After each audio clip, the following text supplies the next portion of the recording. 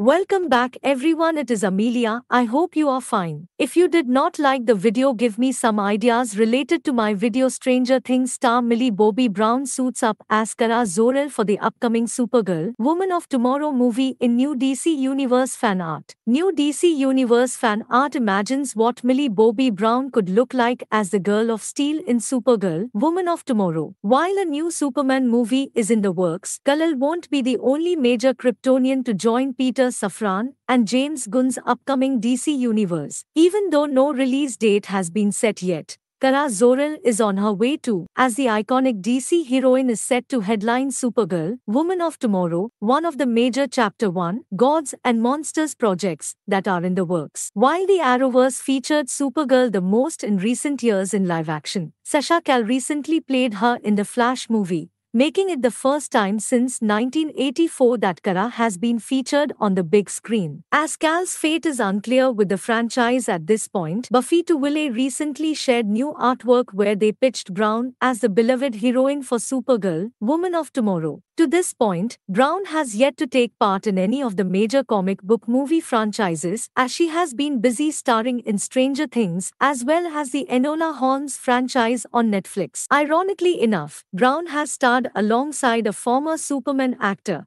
since Henry Cavill plays Enola's brother Sherlock Holmes in the series. The Supergirl, Woman of Tomorrow movie will be based on Tom King's comic book series of the same name, which was a six-issue limited run from 2021 to 2022. King, who has become one of DC Comics' most recognized authors in recent years, is working with DC Studios as an architect on the movie. It's unclear if King is writing the script for Supergirl, Woman of Tomorrow, or if he is consulting while Gunn and Safran look for their director and screenwriter. Ever since the Flash movie's release, there has been speculation as to whether or not Calle will get to play the character again in Supergirl, Woman of Tomorrow, or if they are casting a new actress for the movie. Unless Gunn says otherwise, it is fair to assume that at this point, the DC universe will have someone new play Supergirl to David Corenswet's Superman. In contrast to Superman, Legacy, Superman, Woman of Tomorrow will focus on Kara's tragic life experience as she lived on a piece of Krypton that drifted off and she was forced to see many loved ones die horribly. As the Writers Guild of America strike concluded in September, Supergirl, Woman of Tomorrow will at least be able to resume development on the script while the SAG-AFTRA strike is still active. Unless they already had an actor in mind to play Supergirl prior to the strikes, time will tell who gets to suit up as the infamous Kryptonian in the DC universe. Hopefully, more updates on Supergirl, Woman of Tomorrow will emerge sooner rather than later. Give me some ideas related to my video in comments on below if you like this this video and subs for more upcoming videos.